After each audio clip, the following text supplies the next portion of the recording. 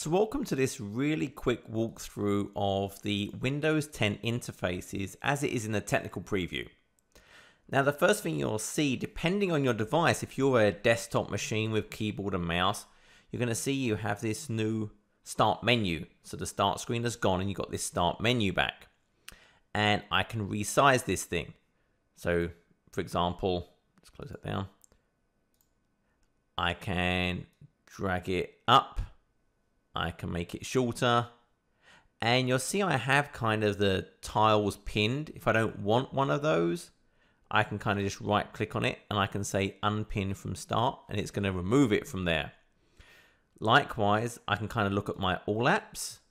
And if there's something I want, I can right click, for example, and I can say pin to start. That's going to add it to those live tiles that were actually showed on my start menu.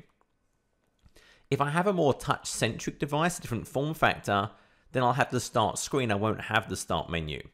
If I miss the start screen, then if I right click on the taskbar and say properties, I can go to start menu and I can actually say use the start menu instead of the start screen. I'm going to unselect that. And now when I log off and log in again in the preview, then it will switch back to the start screen.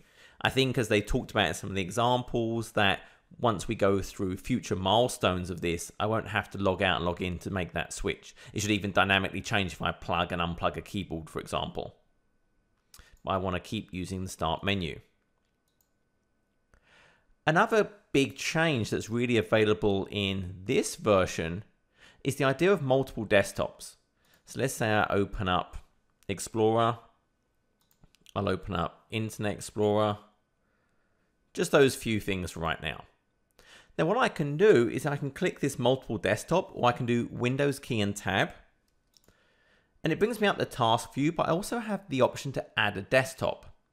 What this does is really just give me another workspace that maybe I could add additional application windows to.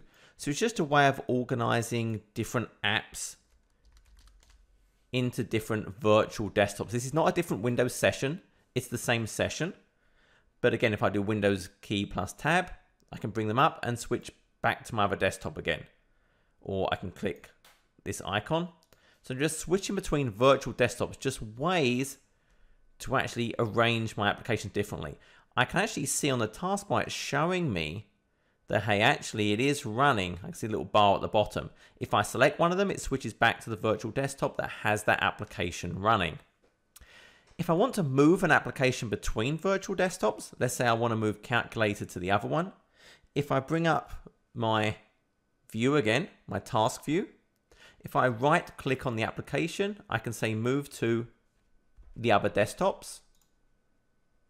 And then if I go to that desktop, I see I've got the calculator on it as well. So I can move things between the various virtual desktops just by right clicking in that task view.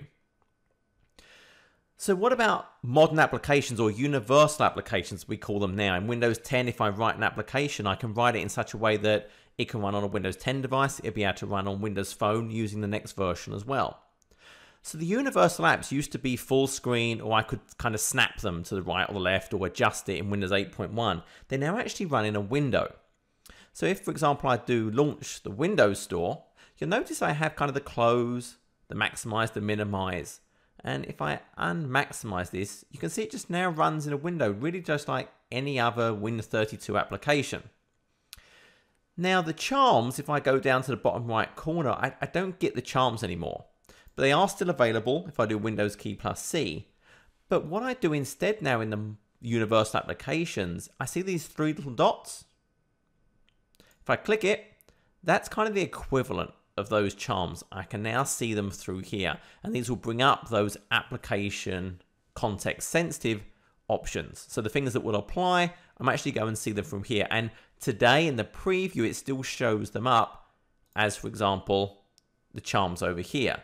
How that's going to be in the future versions, really don't know at this stage. There's going to be new snap capabilities. For example, if I grab this and I kind of pull it over to the window, it can say, hey, I'm going to snap to the right. And then it can recommend, well, how do I want to actually display in the rest of the screen? Maybe I'll show the home, maybe I'll show the Windows store. And again, you're going to be able to snap to maybe just the top left or the bottom left, for example. It's going to have more intelligent ways to really organize this going forwards. So that's just a really quick focus. I really wanted to show that virtual desktop, the idea that it's just different ways to organize my applications. If I actually bring that up again, go to my second one, and this time what I'm actually going to do is just close the virtual desktop. What you'll see is it just automatically moves the running app back into my single remaining desktop. So I'm not going to lose my apps. It's just really ways to organize those windows. So this concludes the quick intro to the Windows 10 technical preview, main sort of start screen application changes. Thank you.